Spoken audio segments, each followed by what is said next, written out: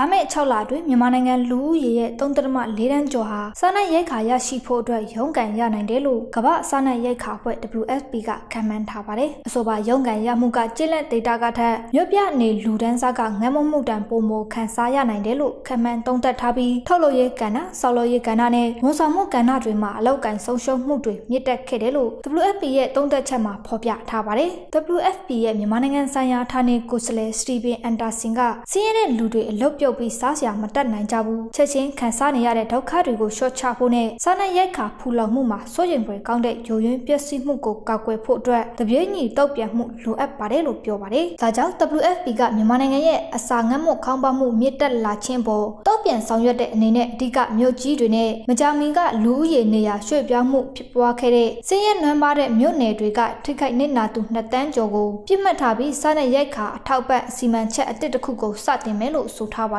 COVID-19 နဲ့လက်ရှိနိုင်ငံရေးအကြက်တဲတို့ကြောင့်အရင်ကဖြစ်ပွားခဲ့တဲ့စီးရဲနွမ်းပါမှုရဲ့သုံးဆတက်ရောက်မှုရှိတယ်လို့ WFP ကခန့်မှန်းထားပြီးမြန်မာနိုင်ငံတဝက်မှာငတ်မွတ်ခေါင်းပါခြင်းကတိတိတတ်တာမြင့်တက်နေတယ်လို့ဆိုထားပါတယ်။ WFP ရဲ့စားနပ်ရိက္ခာထောက်ပံ့မှုစီမံချက်တဲ့အတွက်အမေရိကန်ဒေါ်လာ106တန်းကိုအရေးပေါ်လိုအပ်နေပြီးလာမယ့်လတွေမှာ WFP ရဲ့ထောက်ပံ့မှုဟာလူဦးရေ3.3တန်းထိ3ဆနီးပါးတိုးလာနိုင်တယ်လို့ဖော်ပြထားပါတယ်။